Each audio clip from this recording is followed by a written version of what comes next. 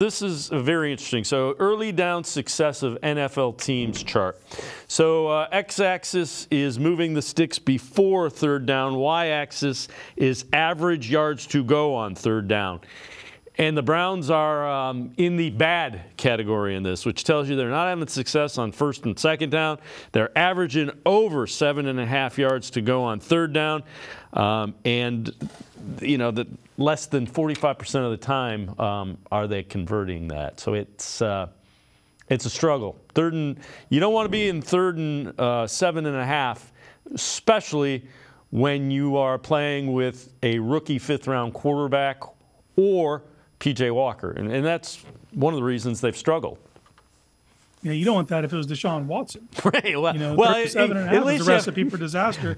you, the further you go down that depth chart, man, you need that third and one, third and two. You Right. know, when you're third and seven, you're just opening yourself up for bad things to happen, and that's what you're seeing. You know, Dude, when you, when you have to dictate, you know, you, you can be either or. You can be pass or you can be run. Third and seven, you're not doing that. You're telling the other team you're going to pass, which means guys on the edge pin their ears back, which means you're going to get more coverage. You're going to get linebackers dropping in the lanes and making everything tougher. So you have to do yourself a favor and gain yards on first down so you can just keep it at a manageable down and distance to give whoever's taking snaps back there the best possible chance for success.